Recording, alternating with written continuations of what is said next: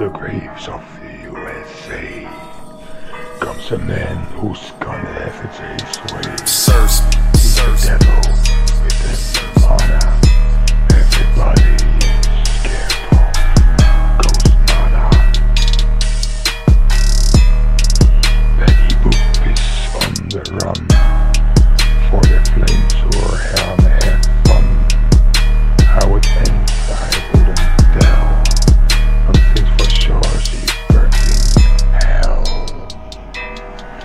Mickey Mouse.